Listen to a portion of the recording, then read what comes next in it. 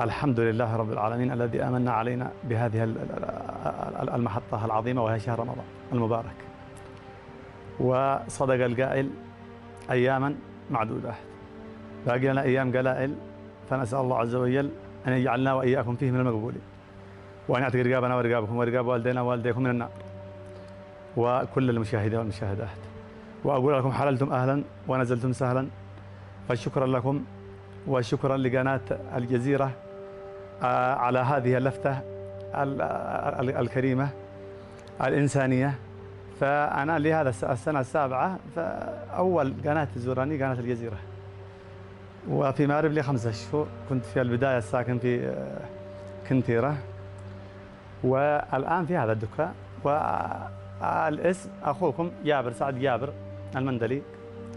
معي أربعة أولاد منهم آه، ثلاثة أولاد والرابعة بنت هنية واثنين هم في الجامع.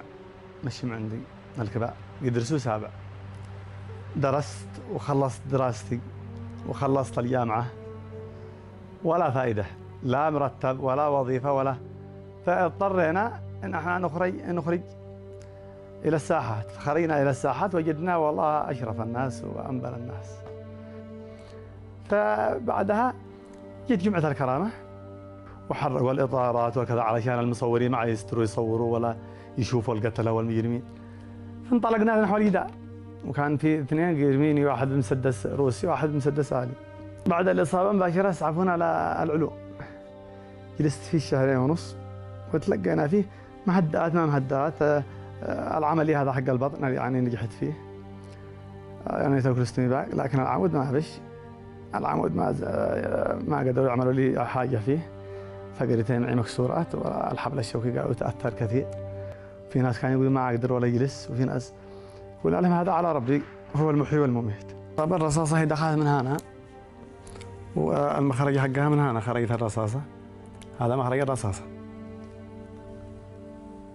تبصره وقطعت لي الامعاء شالوا لي فالعمل عملوا لي عمليتين في يومين أول ما شالوا لي 50 سم وبعد الريع ورم بطني وانتفخ وشالوا لي العملية الثانية في نفس آه، اليوم آه، 17 سم ف اسعفونا على السعودية جلسنا شهرين عملوا لي عملية آه، نزع الشظايا ويعني العظام المكسرة.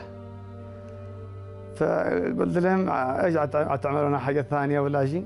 إشتي أقوم إشتي كذا. إشتي أروح البلاد قد فقدت البلاد فقدت الناس اللي كنت أصلي أنا وياهم في الجامع فقدت الزملاء فقدت الأهل والوالد والوالدة. قالوا إن عادك ما يمكن ولا بعد خمس سنين تجلس جلسة. قلت لهم إن شاء الله الله عز وجل يحيي العظام هرمي وقال امشي بإذن الله. ما باقي لي قالوا ما نقدر نعمل لك عمليتين. في آن واحد يعني عملية الشظايا وعملية وعمليه الصفائح والمسامي.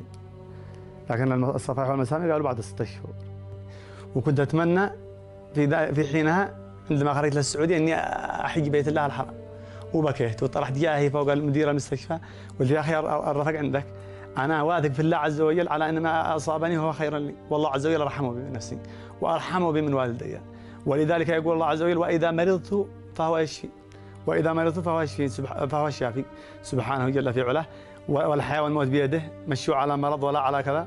كم من سقيم كم من صحيح مات من غير علة وكم من سقيم عاش حين من الدهر. لكن أت- أتمنى أني أحج بيت الله الحرام وأطوف بالبيت ولو على عربية وأزور قبر المصطفى صلى الله عليه وسلم. وهذا أملنا وإن شاء الله قال لي بلغنا الله عز وجل. وإن شاء الله نسأل الله أن يرزقنا الصلاة في المسجد الأقصى وحرير طريق ميدان الهدى القاصمي وبعدين رجعنا روحنا وما زلت في صنعاء. روحت للبلاد لا عند أخوتي لا عمران كنت كل ثاني يوم أسعاف من بطني يكرمكم الله. حتى ما أقدر أهضم ولا حاجة. ولي أنا أكرمكم الله من 2011 على هذا الحال ونزحت من صنعاء إلى مأرب قبل في بداية 2018 تعبت من العلاجات والكذا والم- والمهدئات والإيجار وال... فقلت أنا إن شاء الله بفضل الله عز وجل. ثم بفضل الشرعية يسافر واحد يلقى له على يلقى له. إن شاء الله تكون أحسن من صنعاء. بالنسبة لي عاد أنا الان ما قد شفنا شيء حاجة. إيجابية.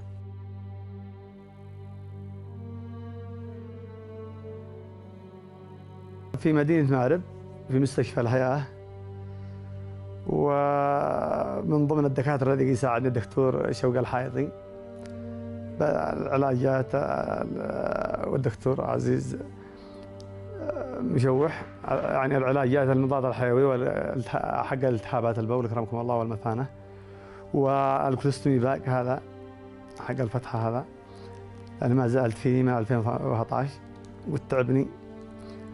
وكنت أبزها ب 1005 في صنعاء الكيس مع القاعدة. أنا الحمد لله صرفوها لي مجان في مستشفى الهيئة مستشفى الهيئة. وإذا ما هي موجودة في صيدلية المستشفى يصرفوها لي من صيدلية السكن. وعلاج طبيعي. لكن اكرمكم الله ما زلت بالمهدئات ما أثر معي ما واصل. المهدئات كنت قلت لهم قلت أنا كنت أجرها في صنعاء.